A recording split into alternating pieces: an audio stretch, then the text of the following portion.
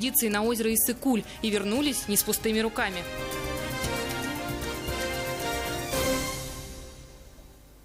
Египет и Томская область будут сотрудничать. Масштабные планы на будущее сегодня обсуждали губернатор Сергей Жвачкин и министр высшего образования Арабской Республики Египет Эль Саед Ахмед Абдель-Халек. Оказалось, интересы нашего региона и ближневосточной страны пересекаются не только в части туризма, о чем еще знает Екатерина Лоскутова.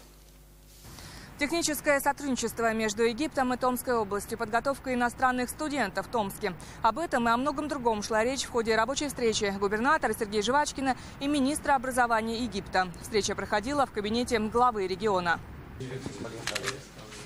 Сергей Жвачкин и министр образования Египта Эль Саед Ахмед Абдель-Халек обсудили перспективы сотрудничества египтян с Томским научно-образовательным комплексом. Томск может стать кузницей кадров для двухсторонних российско-египетских проектов в таких областях, как машиностроение, добыча и переработка полезных ископаемых, в частности, нефтехимия.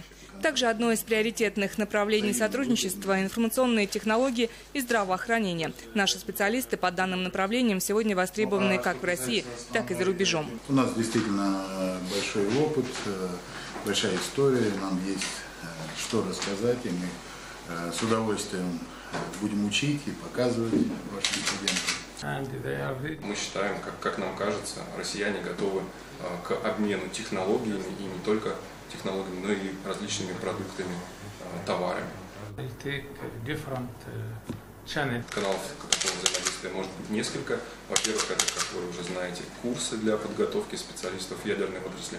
Рынок Египта заинтересован в поставке томской продукции. Промышленные вентиляторы для Каирского метрополитена, кабельная продукция, электродвигатели, специализированные товары для нефтегазовой отрасли. Интересные томские фармацевтические препараты и изделия медицинского назначения. На сегодня связи Томской области и Египта в основном сконцентрированы туристической отрасли. За год Египет посещают более двух с половиной тысяч томичей.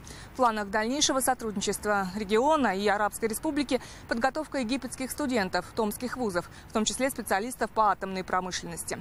Екатерина Лоскутова, Андрей Степанов, Вести, Томск. В Томске сегодня начали подводить итоги большого традиционного фестиваля «Праздник топора».